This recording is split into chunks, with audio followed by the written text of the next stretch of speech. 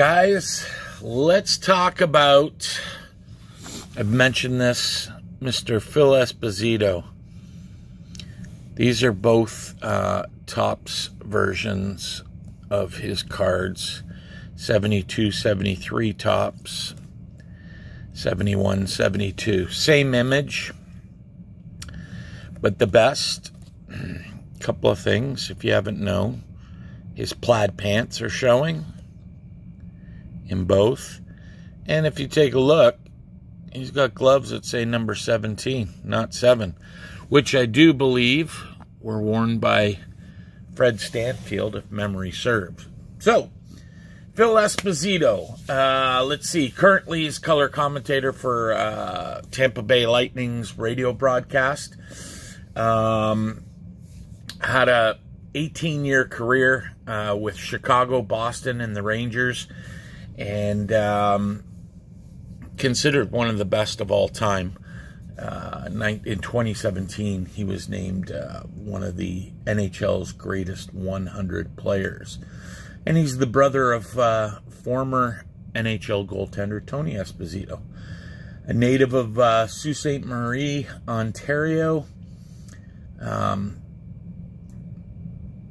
Esposito was signed by the Chicago Blackhawks as a teenager and played for the uh, and was assigned to the Sarnia Legionnaires Junior B hockey team for the 60-61 season.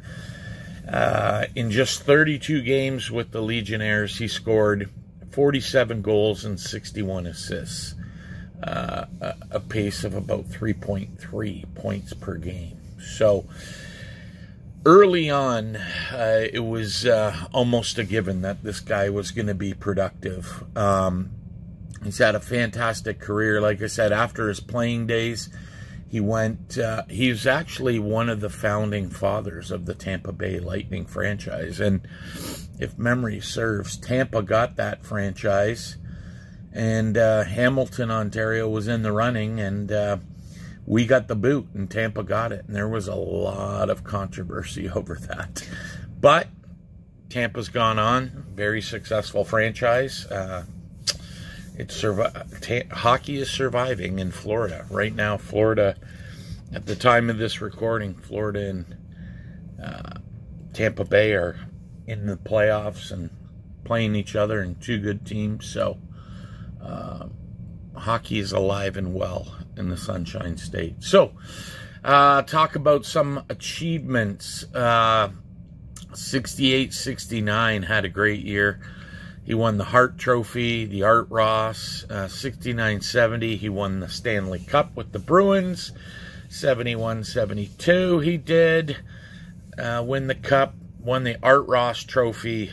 Ooh, looks like six times. Yeah, six times. Won the Hart Trophy as the MVP twice. Um, number seven is retired with the Boston Brewers Bruins, and a very cool gesture. Uh, Ray Bourque wore number seven, and when they retired his jersey, Esposito's jersey, Bourque took off his number seven, handed it to Esposito, and was then wearing number 77. So just a fantastic gesture on Ray Bourque's part. Um, career statistics 1,282 games played, 1,590 points, 717 were goals. Phil Esposito was a true goal scorer. And in uh, the 71, 70-71 season, he amassed 76 goals, uh, 76 assists, which was his best year for uh, both goals and second best to uh, assist totals.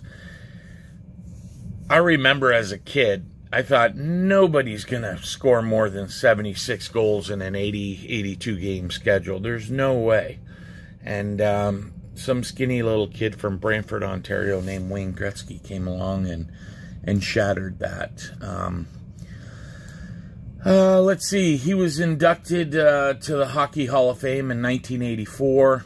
Um, um, pretty much first year of eligibility he got in. So, not much more I can say about that. He did coach the Rangers from 86 uh, to 89. Uh, didn't have the greatest record. Looks like there were interim spots. He, he 86. He was he was 24 and 19, and he stepped in in 88, 89, and he was 0 and 2. So, um, just uh, all around great scoring